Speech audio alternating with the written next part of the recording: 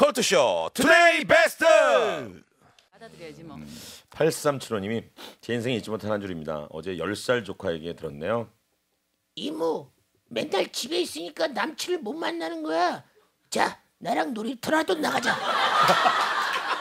자, 자가 웃긴다. 자, 나랑 놀이터라도. 자. 또 다른 삼촌 만날 수 있을지 몰라. 어, 조카. 3248님.